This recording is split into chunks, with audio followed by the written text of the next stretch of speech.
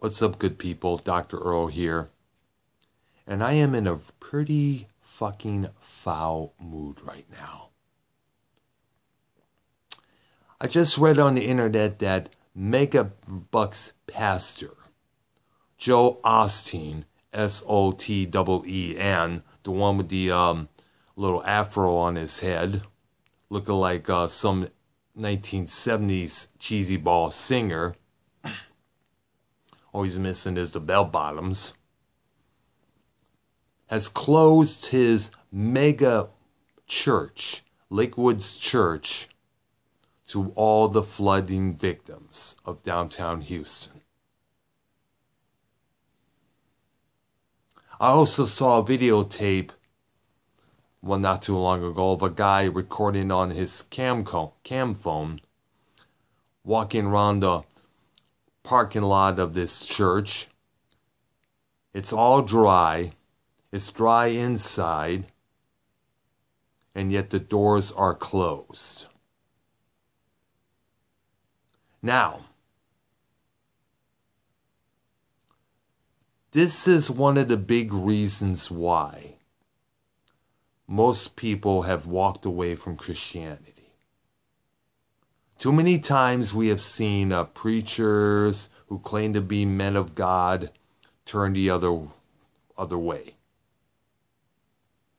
We still have not gotten over what happened with Jim Bakker, Jimmy Swaggart, Robert Tilton, and the stuff that they did. And now you can add Joe Osteen to that mix. Here we have tons of people being evacuated out of their Houston area homes. Houston right now looks like the city of Atlantis. And yet your uh, doors to your massive humongous church, which is used to be a sporting arena, knowing how big it is, it remains closed.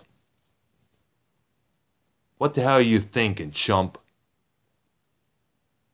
That's not a man of God. That's a man of self absorbance.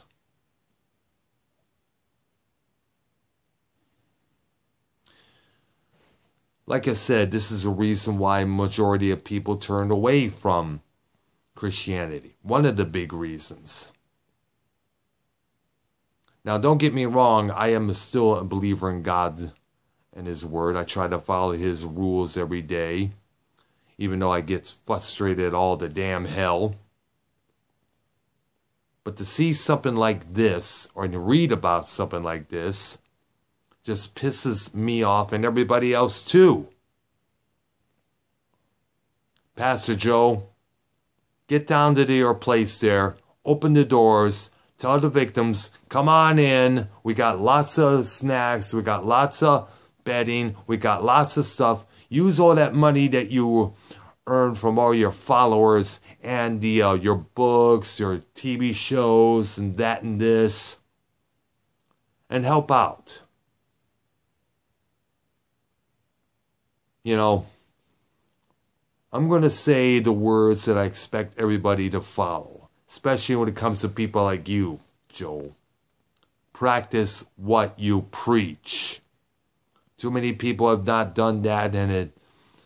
This is why the uh, limit of trust in humanity is this small. Okay? Open your doors, Pastor. These are the real refugees that need to be taken care of, okay? I'm Dr. Earl. Subscribe to my channel. Say a prayer for the city of Houston. Out of here.